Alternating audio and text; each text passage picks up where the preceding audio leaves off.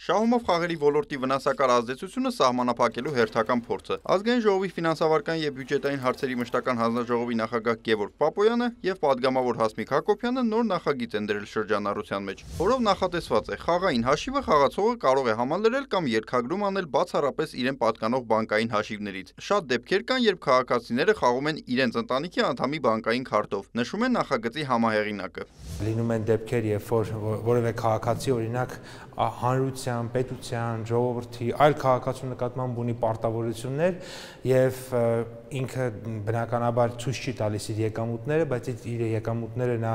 կանխիկով տա փոխանցում է մեկ այլ քաղաքացու, նա էլ ըստ էության իր հաշվի վրա է կൂട്ടակում եւ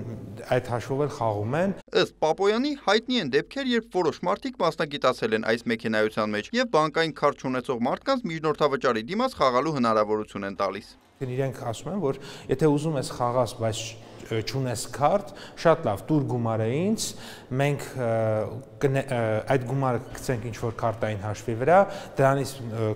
այնուհետև կփոխանցենք քո խաղային հաշվին եւ դու հանգիստ կարողանաս խաղալ եւ դրա դիմաց բնականաբար միջնորդավճար են վերցնում, ինչը արդեն ըստ էության մենք այստեղ հանցագործության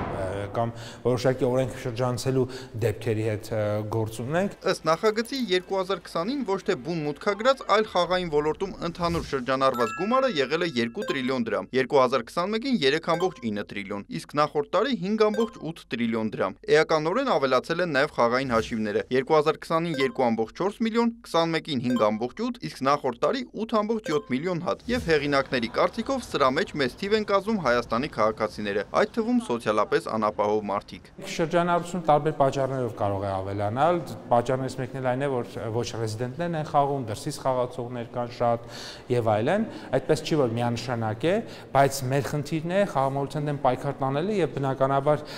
խաղամոլությամբ տարվածները եւ խաղային բիզնեսում ներգրավվածները անընդհատ նոր օգտվելով օրենքի բացից անընդհատ անընդհատ նոր գործիքներ են ներդնում, որոնք խաղամոլներին ներգրավում են կամ խաղալը գրավիչ են դարձնում։ Մենք էլ որպես ազգային ժողով գնալով փակում ենք այդ հնարավոր բոլոր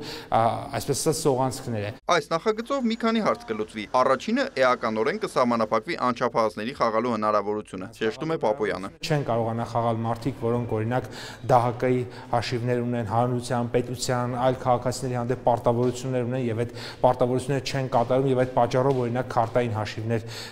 կամ բանկային հաշիվներ չունեն կամ սառեցված են այդ հաշիվները եւ